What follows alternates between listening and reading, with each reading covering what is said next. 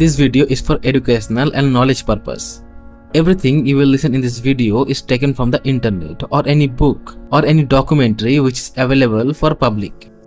ऐसा भाई और ऐसी पत्नी भगवान किसी को न दे हर ज़ुबान पर यही बात थी जब हाथों में हथकड़ियाँ पहने महिला और उसके जेठ को आगरतला से उदयपुर के प्रतापनगर थाने में लाया गया महिला ने उम्र में 11 साल बड़े अपने जेठ से अवैध संबंध बनाए।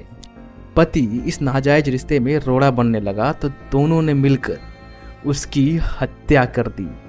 हत्याकांड की प्लानिंग तीन हज़ार किलोमीटर दूर त्रिपुरा में की गई थी और इसे अंजाम उदयपुर शहर में दिया गया। नमस्कार दोस्तों, मैं हूँ रोहित और आप देख रहे हैं ट्रू स्टोरी हिंदी। 16 नवंबर 2020 उदयपुर का लकरवास गाँव दोपहर के साढ़े तीन बजे का वक्त। गाँव के तत्कालीन उप सरपंच गंगाराम डांगी के मोबाइल की रिंग बजी। फ़ोन रिसीव किया तो सामने वाले शख्स ने बताया, भाई साहब, शेख माता मंदिर के आगे, उदय सागर किनारे प्लास्टिक के बोरे में लाश पड़ी है। लाश के दोनों पैर बोरे से बाहर निकले हुए हैं। लाश का नाम सुनते ही गंगाराम चौंके। लेकिन अगले पल मौके पर जाने के लिए रवाना हो गए। घटनास्थल पर पहुँचे तो वहाँ पहले से भीड़ जमा थी। तब उन्होंने लाश मिलने की सूचना उदयपुर के प्रतापनगर थाने में दी। पुलिस ने पहुंचकर प्लास्टिक बोरे का मुँह खुलवाया और लाश को बाहर निकाला। लाश को भारी भरकम पत्थर से बांधकर पानी में फेंका गया था। वो पत्थर अभी भी लाश से बंधा था। मृतक ने चेक शर्ट और जींस पहनी हुई थी। पुलिस ने अज्ञात लोगों के खिलाफ हत्या का मामला दर्ज कर जाँच शुरू कर दी। अखबार, टीवी और सोशल मीडिया के ज़रिए सबकी शिनाख्त के लिए काफ़ी प्रयास किए गए। राजस्थान के सभी थानों में सब के पास से बरामद सामान और हुलिये की जानकारी भेजी, लेकिन कोई फ़ायदा नहीं हुआ। आखिरकार पोस्टमार्टम के बाद वैकुंठ धाम सेवा संस्थान ने शव का अंतिम संस्कार करवा दिया। वहीं मृतक की पहचान के प्रयास व हत्यारों की तलाश चलती रही। पाँच महीने बीत जाने के बाद भी इस केस में पुलिस के हाथ कुछ नहीं लगा था।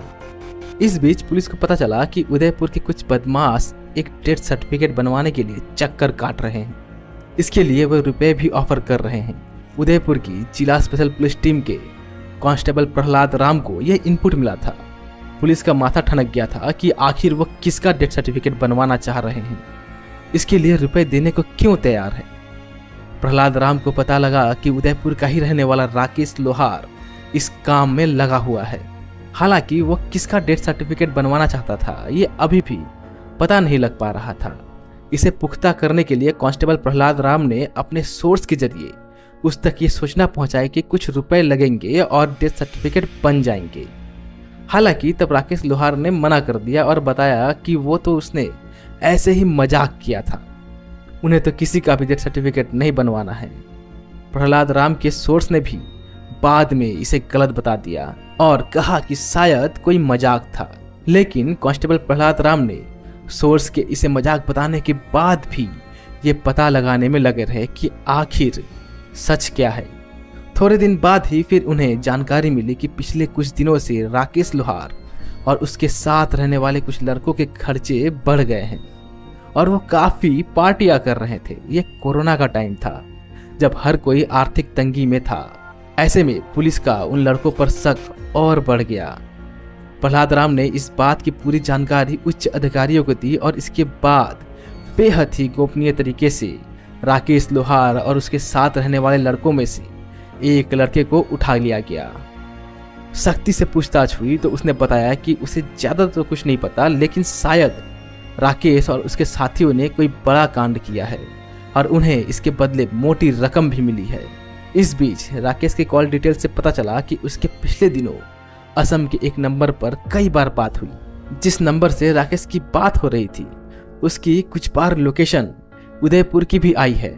जब उदयपुर जिला स्पेशल पुलिस टीम ने राकेश लोहार और उसके साथियों को पकड़ा, वो थाने लाकर सख्ती से पूछताछ की तो उन्होंने जो बताया, वो हैरान करने वाला था।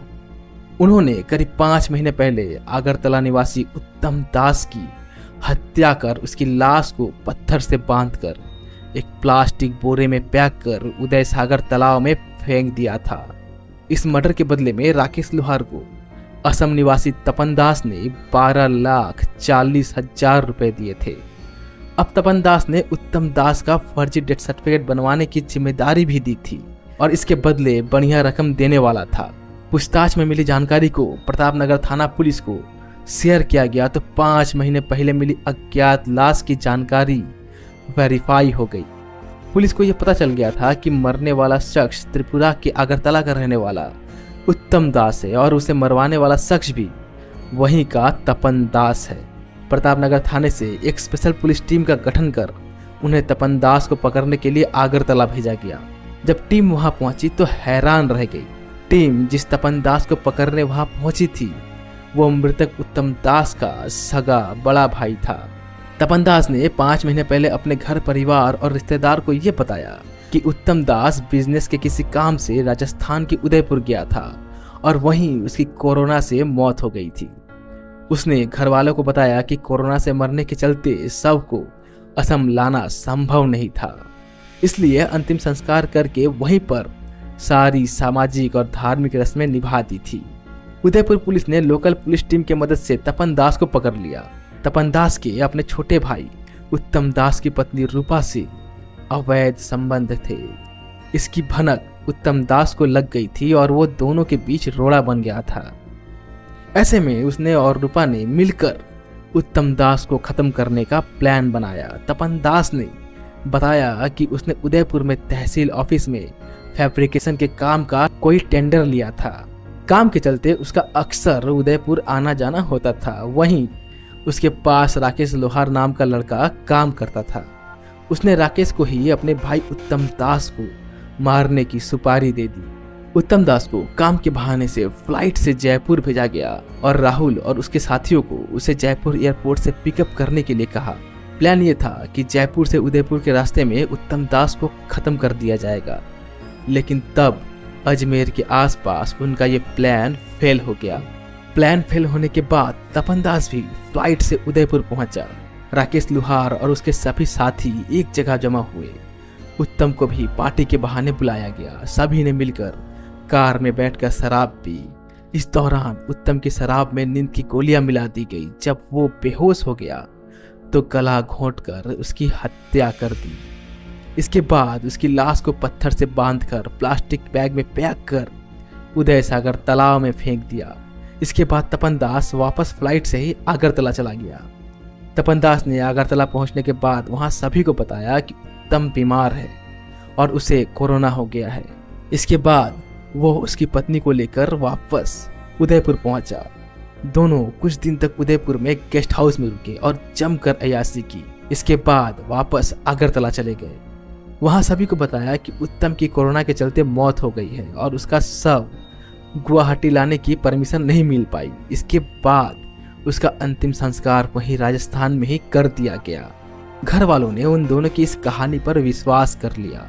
रूपा हत्या के बाद उत्तम दास की प्रॉपर्टी को खुद के नाम करवाना चाह रही थी। वहीं उसे असम सरकार से मिलने वाली कई सरकारी योजनाओं का लाभ लेने के लिए उत्तम दास का डेथ सर्टिफिकेट चाहिए था। उसने तपन दास को डेथ सर्टिफिकेट बनवाने के लिए कहा था। तपन दास ने एक बार फिर राकेश लोहार को इसी काम का जिम्मा दिया।